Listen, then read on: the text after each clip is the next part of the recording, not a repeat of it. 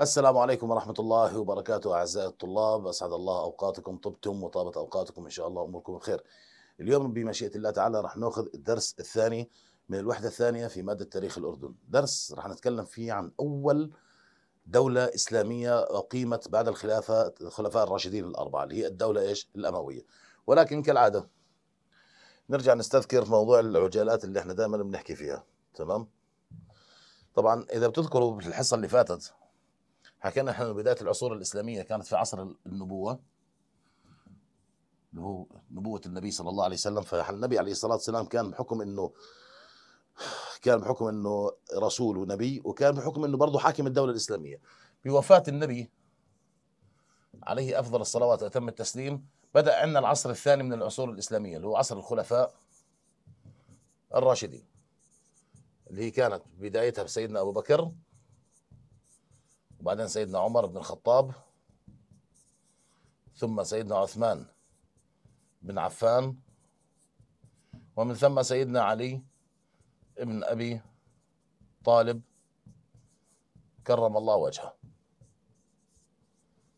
طبعا إذا عمرك سمعت إنه صار في خلاف ما بين الصحابة رضي الله عنهم بين خلافة سيدنا علي وبين خلافة سيدنا خلافة سيدنا علي مع علي ومع معاوية بن أبي سفيان قصة طويلة وعميقة راح نتكلم عنها أو ما في داعي نتكلم عنها حتى لأنه الموضوع بيحتاج إلى شرح عميق. طبعا سبب الخلاف قام بسبب مقتل سيدنا عثمان بن عفان في المدينة المنورة واستلم سيدنا علي بن أبي طالب استلم هو الخلافة الإسلامية. فمعاوية بن أبي سفيان طالب في رد يعني في قتل قتله سيدنا عثمان وصارت إشكالات ولكن في مسبب رئيسي لهذا الموضوع واحد اسمه عبد الله ابن سبأ. طبعا يهودي ومن أخطر ثلاث رجالات مروا على التاريخ الإسلامي. طبعا هو عبد الله بن سبأ وفي كمان واحد ثاني اللي هو هولاكو اللي هو قائد المغول. والثالث اللي بيحكوا عنه اللي هو أتاتورك اللي هدم الخلافة العثمانية. وهذا الموضوع برضه خارج الإطار اللي إحنا بنتكلم فيه. طيب بعد وفاة سيدنا عثمان بن عفان بايع الصحابة رضي الله عنهم سيدنا علي بن أبي طالب إيش؟ خلافة المسلمين. انتقل نقل سيدنا علي بن أبي طالب مقر الخلافة من المدينة إلى بغداد إلى الكوفة عفوا إلى وين إلى الكوفة في العراق. طبعا بعد وفاة سيدنا علي أو بعد مقتل سيدنا علي رضي الله عنه كرم الله وجهه انتقلت الخلافة إلى سيدنا الحسن رضي الله عنه. وبنفس الفترة كان معاوية ابن أبي سفيان. معاوية بن أبي سفيان كان في هذيك الفترة اللي نحن بنتكلم فيها الفترة اللي إحنا بنتكلم فيها معاوية بن أبي سفيان كان يطالب بأنه الخلافة تكون له طيب سيدنا الحسن رضي الله عنه سمع أو تذكر حديث النبي صلى الله عليه وسلم اللي قال فيه إن ابني هذا سيد وأسأل الله أن يحل فيه خلافا كبير ما بين المسلمين. فشو عمل سيدنا الحسن؟ تنازل بالخلافة لمعاوية ابن أبي سفيان فتأسست عندك أول دولة إسلامية بنظام الدولة وهي الدولة الأموية. نسبة إلى معاوية ابن أبي سفيان. الدولة الأموية عشان تكون بالصورة. فترة الحكم تاعتها من أقصر الخلافات الإسلامية. يعني الخلافة الخلافات الإسلامية ثلاث لأهل السنة. الأمويين والعباسيين والعثمانيين. فهي أقلها كفترة زمنية من سنة ال 41 تقريبا ل 132 هجري. طبعا شو السبب راح نتكلم عليها هسه بس ندخل فيها وراح نوضح هذا الموضوع أكثر لما نتكلم عن الخلافه العباسية لأن الخلافه العباسية كان هي اللي لها الدور الأكبر في إنهاء إيش؟ وجود الأمويين. بس ولكن في الفترة القصيرة هاي اللي بنتكلم فيها الدولة الأموية انتقلت بالفتوحات الإسلامية انتقال نوعي. يعني عندك يعني في في زمن سيدنا عمر وزمن سيدنا عمر وزمن سيدنا عثمان بن عفان وصلت الفتوحات الإسلامية حكينا إحنا لإيش؟ لإفريقيا. يعني طلعنا من قارة آسيا اللي هي الجزيرة العربية وبلاد الشام دخلنا أفريقيا وبالأخص على وين؟ على مصر ولكن في زمن الدولة الأموية الشمال الإفريقي كامل من ضمنه كان اللي هو بنحكي عنها ليبيا حاليا تونس والجزائر والمغرب هاي كلها صارت دول إسلامية في زمن الدولة إيش؟ زمن الدولة الأموية ولا وكمان انتقلنا من قارة إفريقيا كمان إلى قارة أوروبا اللي هي الأندلس فحكمها قصير ولكن التطور اللي حدث في الدولة الأموية في ناحية التوسع في في في رقعة الحكم كان كبير جدا. هذا بالنسبة للموجز البسيط اللي نحن بنتكلم عليه إيش؟ بنتكلم عليه دائما. تعال هسه على أول نقطة موجودة في الدرس. نتكلم عليها هيك بإيجاز إن شاء الله تعالى. عندك نشأة الدولة الأموية زي ما حكينا من سنة 41 ل 132 هجري اللي هي سنة 262 ميلادي إلى سنة 570 ميلادي. وآخر حكامهم كان الخليفة مروان بن محمد. طيب دولة أسسها معاوية بن أبي سفيان نقل عاصمة الخلافة فيها من وين؟ من المدينة المنورة إلى إيش؟ إلى دمشق. من المدينة المنورة إلى دمشق. طبعا إحنا زي ما حكينا سيدنا علي نقل الخلافة مقر الخلافة من المدينة للكوفة. لما استلم معاوية بن أبي سفيان الخلافة نقلها لوين؟ إلى دمشق. إذا هاي أول نقطة اللي بنتكلم فيها أنه تم نقل الخلافة من المدينة أو من الكوفة إلى دمشق. طيب طيب شو السبب التسمية تاعتهم؟ الأمويين إلى أمية ابن عبد شمس من قبيلة قريش وهو من إيش من أعمام النبي صلى الله عليه وسلم في صلة قرابة بين بني أمية وبني هاشم. اللون الرئيسي تاعهم اللون الأبيض. وراح نجي نتكلم عن الدولة العباسية راح نلاقي اللون المختلف تماما عنهم اللي هو اللون الأسود. بلغت الدولة الأموية اوجت الساحة في عهد الخليفة الوليد بن عبد الملك اللي بنى قبة الصخرة اللي لونها ذهبي اللي موجودها في القدس. اللي موجود عند المسجد إيش؟ الأقصى. طيب. أهمية مدينة أذرح. هاي يعني ال... الكلام اللي بنتكلم فيه في موضوع اللي صار في موضوع التحكيم. طبعا خلاف اللي صار ما بين سيدنا علي بن أبي طالب وبين سيدنا معاوية بن أبي سفيان في منطقة صارت اسمها أذرح الأردنية لأن صارت فيها معركة هناك. طبعا الموضوع فيه كثير من الناس حكوا فيه ولكن في كثير من الناس تجرأوا وحكوا عن الصحابة رضي الله عنهم بكلام خارج إطار المعقول بصراحة. هذول الصحابة الكرام رضي الله عنهم الأفضل إنه لما نتكلم فيه نتكلم في نوع من الأدب والاحترام. ونترك هاي نترك هاي الخلافة أو هذا الخلاف اللي حدث لنقطة ثانية. طيب المهم أنت اللي بيهمك في الدرس عشان يعني ما تخربط حالك وتدخل في متاهات إن هاي مدينة أذرح شو الاهميه تاعتها إنها وقعت حادثة التحكيم. حادثة التحكيم. طبعا الحكم تاع سيدنا علي كان سيدنا أبو موسى الأشعري رضي الله عنه والحكم تاع سيدنا معاوية بن أبي سفيان كان اللي هو سيدنا عمرو ابن العاص اللي إذا بتذكروا اللقب تاعه كتبناه الفترة اللي فاتت اللي هو داهية العرب. وقصة برضه مش الأفضل إنه ما نتكلم فيها. تعال هسه على الخارطه الموجودة أمامك. حدود الدولة الأموية. شوف الحدود الشاسعة تخيل أنت من هون خرج الإسلام. من وين؟ هاي المدينة المنورة. هاي المدينة المنورة. انطلق الإسلام لمكة. صار في عندنا فتح بسنة 8 هجري. بعدين انطلق النبي صلى الله عليه وسلم أو أطلق الجيش خرج إلى حدود إيش؟ حدود الأردن تقريبا في غزوة مؤتة. وبعدين بعد وفاة الرسول صلى الله عليه وسلم وبعد غزوة تبوك سنة تسعة وبعد وفاة النبي صلى الله عليه وسلم وعام الوفود اللي هو سنة تسعة للهجرة تقريبا الجزيرة العربية أو شبه الجزيرة العربية هاي بالكامل هيك صارت إيش؟ خاضعة للإسلام. انطلقت الفتوحات لوين؟ بلاد العراق اللي هي بلاد الرافدين اللي كان فيها الحضارة الفارسية. وانطلقت الفتوحات لوين؟ لبلاد إيش؟ الروم. لبلاد الروم. إذا بتذكر لما حكينا كنا نحكي على إنه كيف الإسلام هدم الخلاء هدم الإمبراطورية الفارسية والإمبراطورية إيش؟ الرومانية. طيب؟ طيب شوف هسه الفكرة وين. هون اليمن. إذا تذكر صارت عندنا حروب الردة زي ما سيدنا أبو بكر الصديق. ولكن بعد الدولة الأموية واتساع الدولة الأموية شوف بعد ما استلم الأمويين ونقلوا عاصمة الخلافة إلى دمشق هي دمشق. شوف هاي الرقعة الكبيرة الشاسعة اللي بتبدأ عندك. نبدأها مثلا من هون. يمشي هاي هيك. طبعا الخليج العربي ادخل على بلاد فارس. تعال عندك لغاية بلاد السند وطشقند وقرفاطة وسمرقند وبخارى وهي كلها من بلاد إيش؟ بحر خورزم وقزوين وأربيل. شوف انت انت بتحكي على مسافات يعني في قمة الكبر. طلع طلع تشوف المساحة هاي كلها هيك. طبعا هون إيش؟ بحدود عامورية اللي على الشمال ما بين سوريا وتركيا في الوقت الحالي. تعال هاي عندك قارة آسيا. هاي هيك آسيا. ادخل على إفريقيا الشمال تاع مصر على الشمال الإفريقي كامل من ليبيا وطرابلس وتونس والجزائر والمغرب وادخل لحدود موريتانيا. هاي كلها هيك لاحظ الدولة هاي كلها دولة الأموية. وانتقل بعدين لوين؟ إلى الأندلس. شوف حدود الأندلس. طبعا اللي كان مسؤول عن فتحها موسى بن نصير رضي الله عنه كان عمره 85 سنة. موسى بن نصير. وكان معه طارق. بن زياد اللي تم تسمية هذا المضيق على اسمه لمضيق جبل طارق لاحقا. فلاحظ أنت كبر الدولة. هاي كلها في خلال فترة 70 سنة تقريبا أو من 41 ل يعني بتحكي لك بفترة تقريبا 70 سنة 50 سنة وصلت الإسلام. شوف عم هاي الدولة بالكامل الرقعه شوف ما أكبرها. طبعا الدولة البيزنطية من فوق ومملكة الفرنجة الموجودة عندك. طيب القارات زي ما حكينا آسيا وإفريقيا وأوروبا. العوامل اللي ساعدت الأمويين على التوسيع على التوسع فيها أول دولة ألغت نظام الشورى في الحكم وحولته نظام وراثي وراثي للابن البكر للخليفة للابن البكر لأمير المؤمنين بمعنى عبد الملك من مروان كان ابنه البكر مين؟ الوليد بن عبد الملك، فكان مين ولي عهده؟ الوليد بن عبد الملك، فلما مات عبد عبد الملك من مروان استلمها الوليد بن عبد الملك، فحول النظام هون إيش؟ لوراثه، وصار الأمويين يتوارثوا الحكم يتوارثوا يتوارثوا وهذا أدى إلى استقرار نظام الحكم، ما صار فيه نزاعات ما بين إيش؟ ما بين العائلات تاعت قريش بالذات، ما صار فيها نزاعات وهذا راح نتكلم عنه برضه. طيب الازدهار الاقتصادي الكبير الذي حدث في عصرهم نتيجة إيش؟ نتيجة الفتوحات الشاسعة اللي صارت أنت شفت الرقعة الرقعة الجغرافية للدولة الأموية قديش كم كبرت فتخيل أنت شو في في عندهم منافذ بحرية وعندهم مراكز تجارية وشو في خيرات في هاي البلدان كلها فعندهم الاقتصاد عندهم ازدهر ازدهار كبير جدا. ملاحظة بسيطة سيدنا عمر بن عبد العزيز رضي الله عنه وهو خليفة من الخلفاء بني إيش؟ بني أمية.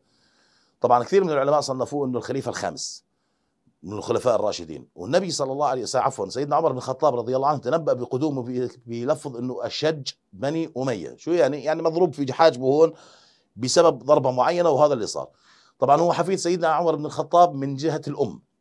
وحفيد بني أمية من جهة الأب ابوه عبد العزيز بن عبد الملك بن مروان. طيب سيدنا عمر بن عبد العزيز استلم فترة الخلافة الإسلامية تقريبا كخليفة أموي تقريبا سنتين ونص. بالسنتين ونص سنتين ونص. في أول سنة أنفق الزكاة في المصارف الشرعية تاعتها اللي هي ثمان انصبه السنة الثانية اجوا يدوروا على الفقراء والمساكين في هاي الرقعة الجغرافية الكبيرة اللي أنت شفتها ما وجدوا. ليش؟ فيش فقراء. حلت البركة على بلاد المسلمين. فشو أمر؟ أمر أنه في مال الزكاة زوجوا الشباب. زوجوا الشباب. طب سدوا الديون عن الغارمين. اللي عنده عليه غرم عليه دين سدوا عنه.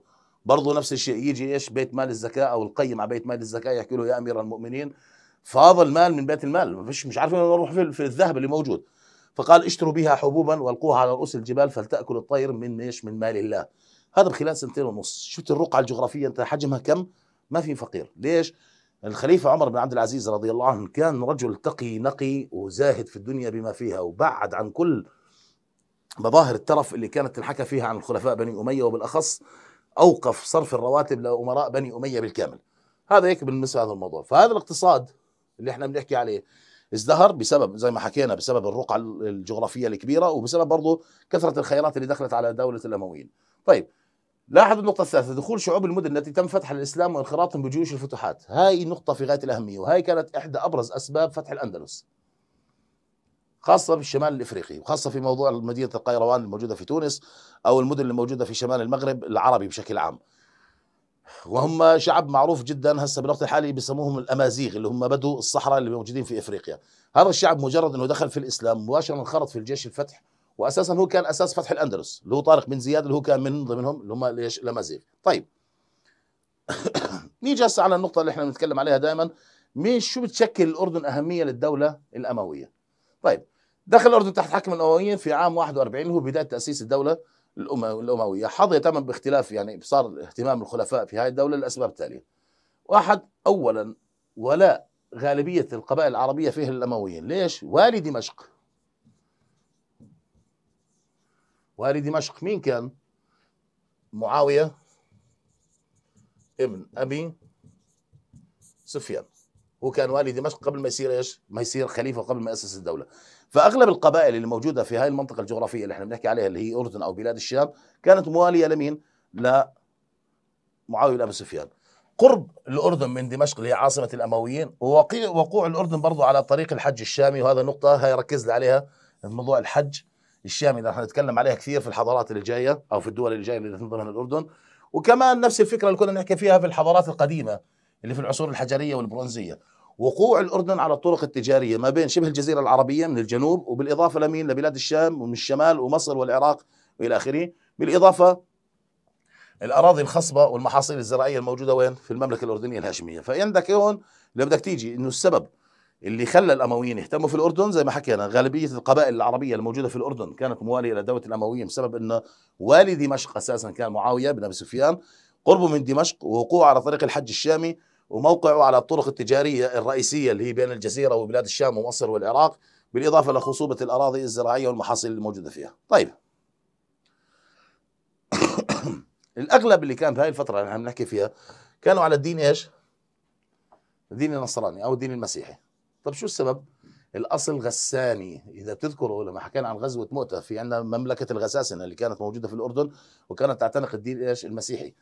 فأغلب الفترة هاي إحنا بنحكي فيها أغلب سكان الأردن كان ميش؟ كانوا على الديانة المسيحية ودلاله ذلك كثرة الكنائس والاديره المنتشرة وين؟ في الأردن. طيب من أهم الكنائس اللي تم اكتشافها في الفترة الأموية في بلدة إرحاب في المفرق بلغ عددها 23 كنيسة، وين هاي موجودة؟ في المفرق. 23 كنيسة. تمام؟ يعود بناء معظمها إلى العصر الأموي، هون شوف هاي الفكرة. أنت في منطقة واحدة زي المفرق تبني فيها 23 كنيسة وأنت دولة بتحكمها الإسلام، معناه هذا شو معنى الكلام؟ معناه إنه في عندنا تسامح ديني طيب هذا التسامح الديني من وين جبنا إحنا؟ من النبي صلى الله عليه وسلم من القرآن الكريم من حيش من شرع الله عز وجل ولا لا تنسى العهدة العمرية اللي حكينا عنها لما استلم سيدنا عمر بن الخطاب فتح بيت المقدس وامنهم على كنائسهم وعلى صلبانهم وامنهم على إيش؟ على أغراضهم. فهذا كله امتدادا لأصل التسامح الديني الموجود عند الإسلام بقول الله عز وجل لا إكراه في الدين. في عندك كمان كنيسة المكتشفة في مدينة المرصاص، طيب. على ماذا يدل كثرة انتشار الكنائس هي النقطة اللي بنحكي عليها. دل على اتباع تسامح الأمويين مع اتباع الديانات الأخرى فقط بس بين قوسين أهل الكتاب لأن هذا هيك الشرع بيحكي بالنسبة لنا إحنا بس أهل الكتاب لا يجتمع في في الأرض الإسلامية إلا أصحاب ملل أو ديانات سماوية أما أصحاب الديانات الأرضية من السيخ والهندوس وال وعبدة النار ومثلا الشيوعيين أو الملحدين هذا لا يجوز إقامتهم في داخل الدولة الإسلامية. طيب هذا التسامح أدى إلى بناء العديد من إيش من الكنائس في العصر الأموي. طيب هذول الناس شو صار فيهم؟ في القرون الهجرية الأربعة الأولى اللي هي يعني من سنة عشان تكون بالصورة القرن الهجري الأول يبتدئ من واحد هجري إلى تسعة وتسعين هجري. القرن هذا الأول هذا الأول هجري. القرن الثاني هجري من سنة 100 هجري إلى سنة 199 هجري. هذا القرن إيش؟ الثاني. القرن هو عبارة عن كل 100 عام. القرن الثالث هجري من 200 ل 299 هجري. يعني ما أجي أحكي لك إنه هذا الحدث حدث سنة في القرن الثالث هجري سنة 250 ما تستغرب هذا الموضوع. تمام؟ طيب في هاي القرون الأربعة الأولى يعني لغاية تقريبا 300 ل 399 هجري. أغلب هاي القبائل اللي كانت في الأردن اللي كانت على الدين المسيحي أغلبها دخلت في إيش؟ دخلت في الإسلام. تمام؟ طيب. إيش المنظر أو المظاهر اللي بتثبت لي إنه الأمويين كانوا يهتموا في الأردن؟ عندك أبرز الخلفاء اللي كانوا في بني أمية الوليد بن عبد الملك ويزيد بن عبد الملك اللي هو أخوه وهشام بن عبد الملك اللي هو برضه أخوه. طيب كانت كثير مقرا للخلفاء يعني كان زي استراحات. عندك شوف عندك فيلم موقر في القسطل وزيزيا طبعا أغلبهم جنب بعض والأزرق اللي هي في واحة عجلون وبيت راس وعمان اللي هو جبل القلعة الموجود عندنا هسه في وسط البلد. كان فيها قصر الإمارة ودار سك النقود. شوف هون أهمية جبل إيش؟ جبل القلعة سك النقود. يعني طباعه النقود في الدولة الأموية لأن الأمويين أوجدوا لأنفسهم نقود بعدوا فيها عن إيش؟ عن النقود الرومانية.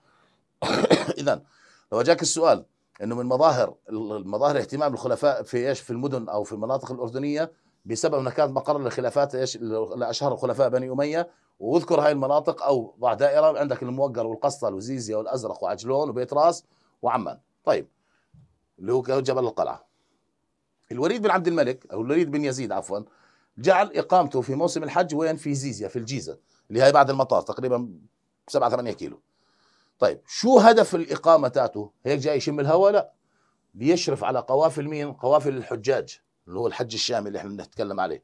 طيب كيف الإشراف تاعه؟ إطعام الحجاج ثلاث أيام ويعلف الدواب وييسر أمور مين؟ أمور المسافرين. هذا من باب يعتبروه من باب أنه تكريم لأنه أهل قريش أصلا عشان تكون بالصورة. أهل قريش كانوا يعتبروا حالهم إنهم سدنة الكعبة، شو يعني سدنة الكعبة؟ يعني خدام بيت الله الحرام، هسه حتى عندنا في الأردن يعني هسه في الزمن العصر الحديث حكام السعودية شو بسموهم؟ خادم الحرمين الشريفين، اللي بيقوموا على خدمة الحرمين الشريفين وعلى قومه على قيام على خدمة الحجاج أو الحجيج اللي بيجوا يحجوا أو يعتمروا. فهذا الأمر متوارث قديم من أيام قريش قبل الإسلام وهم كانوا يعتبروا إنه إطعام الحجيج وسقايتهم كانوا يعتبروها شيء عظيم جدا ومن المقدسات واستمر هذا الموضوع أساسا لأنه ربنا عز وجل برضه بين إنه هذا الموضوع فيه تكريم من إيش؟ من الله للناس، طيب. من أهم الأمور في في العصر الأموي إنه صار في يعني نهضة أدبية كبيرة جدا، شو صار عندك؟ الدولة استقرت. مساحات كبيرة وشاسعة، آه، أقوام خير الله دخلت في الإسلام، تمام؟ فلما تستقر الدولة اقتصاديا وسياسيا تلقائيا راح تصير في إبداعات في الجوانب الأخرى، ومن ضمن أهم الجوانب اللي تم الإبداع فيها اللي هم الأدب وبالأخص الشعراء. وأكثر ثلاث شعراء مشهورين في العصر الأموي كثير عزة والفرزدق وجرير طبعا هذول الاثنين كانوا دائما داقين في بعض هجاء ومدح وذم وإلى آخره طيب تعال على النقطة الثالثة انه القبائل العربية في الأردن شاركت وين؟ في الفتوحات وكانت أساس الفتوحات جزء من ليش؟ من الجيش الأموي، هذا الكلام راح نشوفه كمان في العصر العباسي وراح نشوفه أكثر في العصر إيش؟ العثماني اللي هو سفر برلك أو يعني موضوع الموضوع الجيش العثماني، طيب في زمن الخليفة الوليد بن عبد الملك شاركوا فيها في فتوحات اللي كانت في شمال إفريقيا زي ما حكينا اللي كانت في تونس وليبيا ولغاية حدود المغرب العربي. ومن أبرز القبائل اللي شاركت في الفتوحات قبيلتي جذام وغسان. هذول حط عليها دائرة. وركز عليها. القبائل اللي شاركت في الغزو في الفتوحات في زمن الخليفة الوليد بن عبد الملك جذام وغسان. طيب. عفوا. عندنا العاصمة عمان. وكثير تكلمنا عن العاصمة عمان حتى في العصور اللي فاتت. مظاهر اهتمام الدولة الأموية في عاصمة عمان أنه حافظت على مكانتها التجارية. الدولة الأموية حافظت على مكانة عمان التجارية. طيب. السبب برضو ثلاث خطوط. موقعها. موقعها بتوسط مين؟ بتوسط طريق بين دمشق إلى شبه الجزيرة العربية. إذا بتذكر بالرسمة اللي رسمناها الأردن جاي في النص بين بلاد الشام وجاية من تحت بالجنوب مع السعودية. على الشمال هيك أو على الشرق بتروح على جهة مصر على اليمين بتروح على جهة إيش؟ بتروح على جهة العراق وإلى آخره. اذا هاي الفكرة إنه توسط طريق دمشق ما بين دمشق وشبه الجزيرة العربية. والنقطة الثانية المهمة اللي هي هاي رقم اثنين اللي حكينا عنها اللي بجبل القلعة. سك العملات اللي هي طباعة العملات الأموية اللي كانت في جبل إيش؟ القلعة. طيب تعال على مدينة جرش. طبعا إحنا بنحكي على المدن اللي كانت حتى الرومان واليونان كانوا برضه يبدوا اهتمامهم فيها. طيب أصبحت برضو مع مدينة عمان مركزا لسك العملات الأموية. أيلة أو العقبة ازدهار كبير جدا شهدت طبعا بسبب إيش؟ بسبب أنها هاي كانت ميناء. طيب شوف في عام 2018 تم العثور على ميناء أموي فيها. يعد هذا الميناء أول عمارة بحرية غارقة يكشف عنها في الأردن عام 2018 كانوا أساسين فيها ميناء لأن هي أساسا يعني كانت المنفذ البحري للاردن ولتجاره الأردن اللي جاية من وين؟ من الجزيرة العربية واللي بدها تطلع على بدها تطلع على الشمال الافريقي أو تطلع على مصر. طيب شو عملوا كمان الأمويين؟ استغل ما أمكنهم من الأراضي الزراعية، عملوا على أحياء الأرض الموات. طيب شو يعني كلمة الأرض الموات؟ الأرض الموات الأرض اللي ما فيها زراعة أو إنها صالحة للزراعة ولكن مهجورة، يعني في مسميات ثانية بيسموها الاموال الأراضي الأميرية هسه بالوقت الحالي. فهم الأمويين شو عملوا؟ عملوا على إحياء هاي الأرض هاي الإحياء في النظام الإسلامي أو في النظام الدولة إما أنه بيتم إعطاء هاي قطعة الأرض لمزارع وباعتبار إنه هاي قطعة الأرض معك مده سنتين أو ثلاث سنين تحييها وإنك تزرعها وتطلع منها محصول وتطلع منه زكاة بعدين فأنا هيك بكون استغليت إنه المزارع اعطيته أرض يشتغل فيها وإذا في حالة إذا أصلحها فعلا وبالإصلاح المطلوب بتملكها في النهاية فراح يبدع فيها وراح يطلع من وراها منتجات. فما بضل عندي أراضي زراعية صالحة للزراعة غير مستغلة. وإما إنه بتكون أرض موات مش واصلتها مقومات الزراعة من مياه أو من ري وإلى آخره وبحاول قدر المستطاع إني اوصل لها المقومات اللي خليها تصير صالحة للزراعة، طريق شوف استصلاحها تأمين المياه ووسائل الري لها لزيادة إيش؟ زيادة الإنتاج، طيب هذا الأمر شو أدى؟ أدى إلى ازدياد الخراج الخراج اللي هو عبارة عن جزء من اللي كان يدفعه يعني التجار أو المزارعين يعني تقريبا هو مش ضريبة بس ولكن شبيه في نظام الضريبة بس ولكن هذا في له عيارات خاصة فيه وأول من كتب في كتاب الخراج كتب فيه الإمام أبو يوسف الشيباني لا محمد الشيباني الإمام أبو يوسف الإمام أبو يوسف هو تلميذ الإمام أبو حنيفة اللي كان قاضي قاضي للقضاه في الدولة العثمانية وراح الدولة عفوا الدولة العباسية وراح نتكلم عليها بعدين كتب كتاب اسمه كتاب الخراج طيب هذا الخراج اللي هو يعني الدخل اللي يدخل على بيت مال المسلمين ازداد وصار في عندي نماء دخل الدولة مباشرة أول ما الدخل الدخل يدخل على الدولة ويصير يزيد يزيد يزيد تلقائيا راح يزيد معها إيش؟ نفقات الدولة على مين؟ على الشعب وعلى رعاية الدولة من فتح طرقات من تأسيس يعني أو يعني تأسيس مدارس تأسيس مستشفيات من مثلا تقوية الجيش العسكر إلى آخره. طيب كان من ضمن برضه اهتمامات اهتمامات الأمويين المشاريع المائية في الأردن. طيب شو الهدف من وراء هاي المشاريع المائية؟ توفير مياه الشرب وسقاية الحاج ولري المزروعات. بدنا نوفر مياه ليش للشرب. طيب شو الهدف من وراها؟ مين بده يشرب فيها؟ هاي الشاشة أنا أخرتني أتخاصم معها. مش راضية طيب ليش بدي أوفر مياه للشرب بدي أسقي فيها الحجاج اللي جايين من الحج الشامي وكمان ليري إيش؟ المزروعات فلازم تكون المياه أساسا صالحة للشرب. طيب أبرز هاي المشاريع اللي هي تاعت الحصاد المائي اللي بنحكي عنها البركة الأموية في جبل عمان وعندك بركة زيزيا وعندك بركة الضليل وبركة الموقر. طبعا كان يشربوا منها الحيوان وكان يشربوا منها الإنسان وكان يسقوا منها كمان إيش؟ المزروعات. طيب خرج مقدار معين من المال تفرضه الدولة على الأراضي الزراعية التي فتحت صلحا أو عنوه فتحت صلحا أو عنوه وظلت في ايدين مين؟ ظلت في ايدين أصحاب الأرض نفسهم. ظلت في ايدين أصحاب الأرض نفسهم. بيأخذوا منها الدولة بتأخذ جزء من هاي أصحاب الأرض تاخذ منهم جزء من المحصول باعتبار انه بدل ضريبه تمام؟ طيب. أشهر ما يميز العصور الأموية في الأردن عندنا موضوع القصور. ليش؟ الأردن كانوا يعتبروها تقريبا يعني مكان السياحة بالنسبة للأمويين. يبعد عن مركز العاصمة دمشق بس ما بده يبعد مركز ما بده يبعد مسافة كبيرة عشان ما يبعد عن قلب العاصمة. فكان يحاول يقربوا المسافات بس يطلع في خلوات تمام؟ طيب من أهمها بنى القصور الأمويين في باديه الشام يقع تسعة منها في الأردن من أغلب قصور بني أمية. الهدف من وراها الاستجمام والترويح عن النفس بعيدا عن حياة المدن وضغط الحكم وإلى آخره. ممارسة هواية الصيد بسبب إن البادية الأردنية غنية بالغزلان والطيور المتنوعة. إرسال أبنائهم إلى الإقامة في البادية عشان موضوع تعلم اللغة العربية الفصحى والتعلم الفروسية وهذا زي ما صار مع النبي صلى الله عليه وسلم لما أرسلوه عند حليمة السعديه.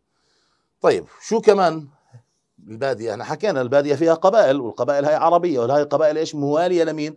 موالية للحكم العثماني التي تسكن في البادية. واستخدامها مركزا مهما للاستثمار الزراعي في موضوع الزراعة واستصلاح الأراضي اللي حكينا عنه.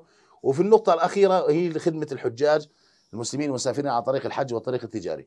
إذ كانت محطات للاستراحة والتزود بالماء والمؤن زي ما شرحنا إحنا. دائما هون هذا بيدخل فيه موضوع بسموه موضوع الخان وجمعوا الخانات يعني تقريبا شبيه بنظام الفنادق في الوقت الحالي.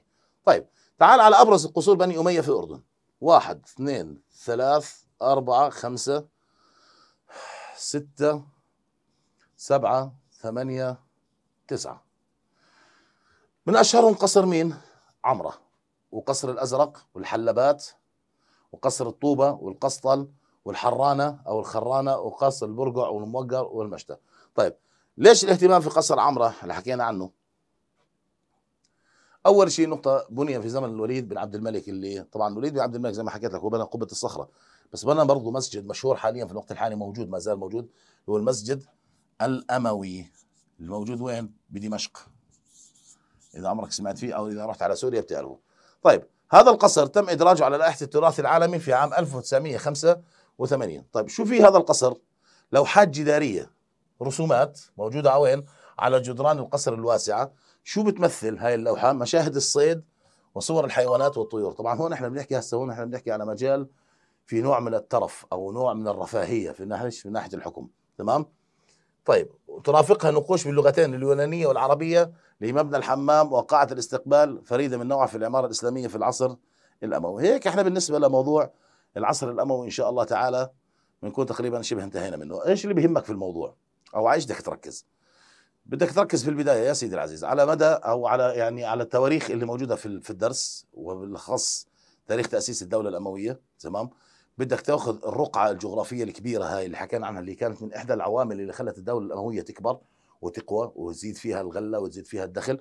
بدنا نركز على موضوع اهتمام الأمويين في الأردن من ناحية الموقع الجغرافي تاعها من ناحية إنها كانت مهمة عشان موضوع طريق الحج الشامي من ناحية إنه كانوا يهتموا فيها برضه عشان موضوع الزراعة والأراضي الزراعية اللي فيها وعشان موضوع الحصاد المائي.